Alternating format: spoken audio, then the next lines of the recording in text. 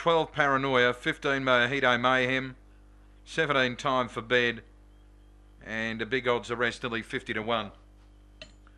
Moving in, favourite drawn the red. Race three of the night, odds are right, evens in, they're set to go. Green light on, Oscar's on the way.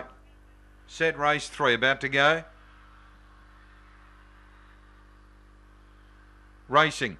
Dinah Quirk out fast on the rails, straight through to lead, settling over Cromwell and Monarch, followed by Paranoia, Hakata Bale. Seam Go Mojito Mayhem College graduate time for bed. On the first turn, Dinah Quirk well clear. Runs off the track, but he's six in front of a Carter Bale, Cromwell and Monarch. Then Paranoia College graduate, see him go. Uh, Mojito Mayhem time for bed. In the straight, Dinah Quirk, a big leader. Race favourite, travelling well from Carter Bale, and Dinah Quirk's going to romp away. Two class, He wins by seven over Hakata Bale, Cromwell and Monarch, then Paranoia, followed by College Graduate, and the last three in are.